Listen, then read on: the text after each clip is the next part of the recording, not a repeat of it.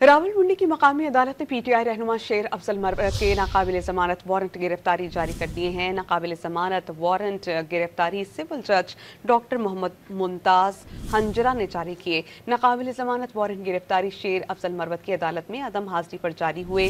शेर अफजल मरवत के खिलाफ थाना नसीराबाद में आर डी ए ने मुकदमा दर्ज कर रखा है।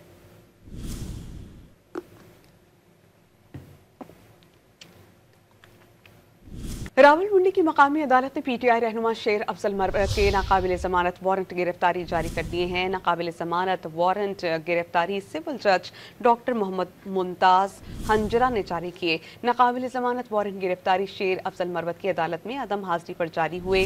शेर अफजल मरवत के खिलाफ थाना नसीराबाद में आर डी ए ने मुकदमा दर्ज कर रखा है।